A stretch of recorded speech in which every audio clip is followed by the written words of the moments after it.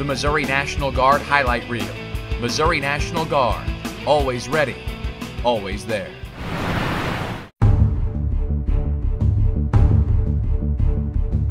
Missouri and Indiana, the only SEC Big Ten matchup of the regular season. Dave Steckel, defensive coordinator for Missouri, taking a chance.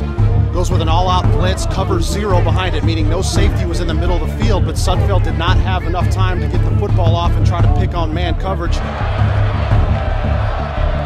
Four in the box. Franklin over the middle. He's got Lucas on a cross to the 30-yard line. First down to the Indiana 25. This one a 37-yard attempt, and it's a fake. It's a fake, and it's a first down. Five in the box for IU. Franklin looking left. Throws it back shoulder fade. Green Beckham leaping grab. Touchdown Missouri. Dorial Green Beckham has a five-inch advantage on the tallest corner, and I get inside the 10-yard line, I'm going to dial this play up every single time. Now, he doesn't even go up and make a high-point grab. He actually lets the ball come down. Twins to the right side. Sudfeld looking left. Hit. Unloads the football underneath. Caught by Coleman at the 10. Brought down at the 15. Credit to Shane Ray. Excellent pass rush to get in the backfield. Franklin has a man. It's complete. It's Lucas down to the 10. Murphy running left, gets a seam to the five, to the house.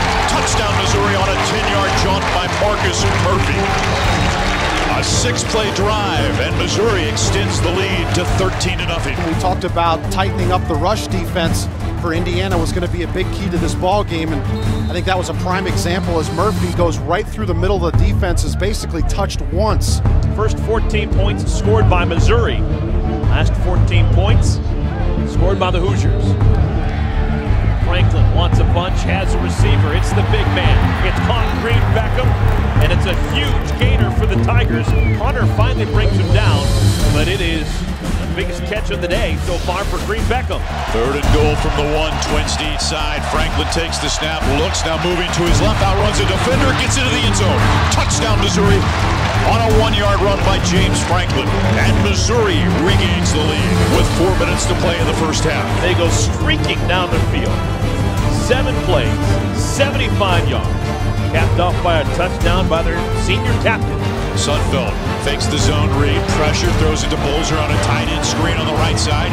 Four defenders there, and he's popped down shy of the line of scrimmage at the 28. He'll lose a yard on the play. After the Tiger timeout, Sudfeld in the gun. Tigers show blitz. Here they come. Oh, it's picked out of the air. This could be a touchdown. Heading the other way. Kony Ealy. Touchdown, Missouri. Missouri with the interception return for the touchdown. And Missouri opens up a 27 to 14 lead. And now the 33rd straight game where Missouri has forced a turnover on defense. 28 14. Tigers on top of Hoosiers. Third down and three. Roberson and Coleman completing one a moment ago.